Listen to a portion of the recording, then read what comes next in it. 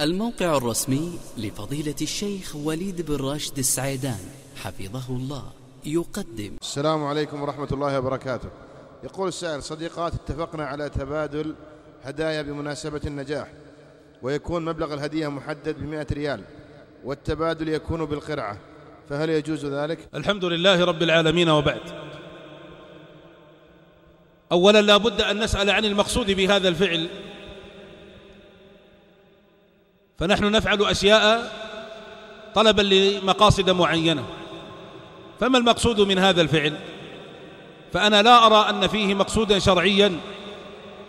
فضلا عن أنه قد يكون سببا لاختلاف القلوب والإفتراق والنزاع والخصومة. لأن هذه الهدايا وإن كانت متفقة في أقيامها لكنها لا بد وأن تكون مختلفة في أجناسها وأنواعها.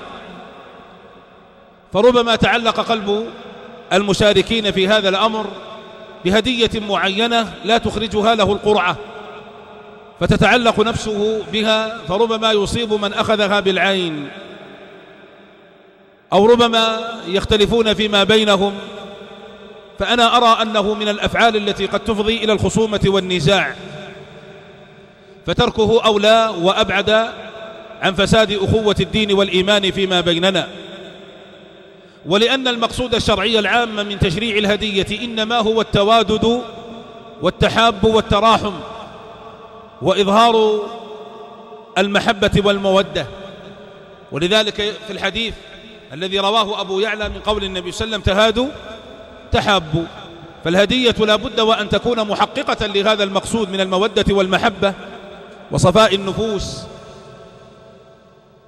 وأما هذه الطريقة التي ذكرها السائل أو السائلة فإنها لا تحقق هذا المقصود الشرعي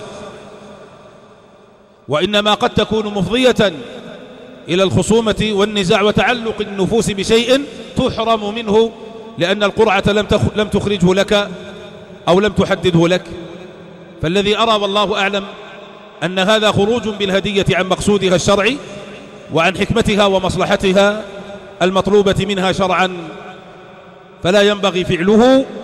وعلينا إذا أردنا أن نتواد وأن نتحاب وأن يهدي بعضنا بعضا أن تكون الهدية من معين لمعين حتى يظهر بهذا الإهداء كبير المودة والمحبة والوفاء وصفاء النفس لهذا للمهدى له.